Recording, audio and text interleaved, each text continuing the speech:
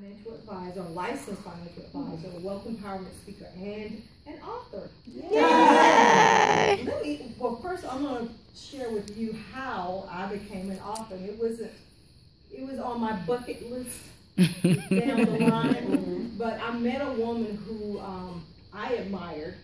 She was a kind of a real estate mogul. I met her at a conference, and when I meet people, I want to, you know, somebody I admire. I want to see if I can sit down and have a cup of coffee. So she came to mm-hmm. my office, and I shared with her what I share with my clients.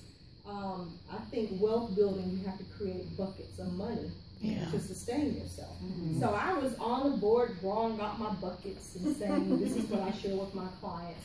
And that when I got to the third bucket, she said, you've got to write a book about these buckets. Mm-hmm. And you can't just hold this for your clients. Mm-hmm. Everyone needs to know about your buckets. So the next thing I know, she told someone from CNN about me and my Wow. bucket talk. Wow. And I mm-hmm. ended up going on an international cruise and they wanted me to get a book Wow. out. So that was in February and she said, you can get a book out by November. You should.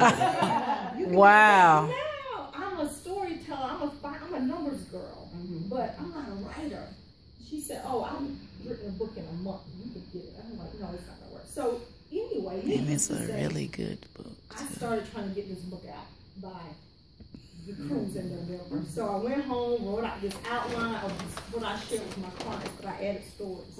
And needless to say, I didn't have the book for the cruise in November, but I did launch the book in December. My husband said, you're either gonna have a good book or a piece of crap because you're putting too much pressure on yourself. I wrote my book because no one can tell a story. Right. If I can Right. write, Nobody can write my book for me. Right. Because there's some technical information.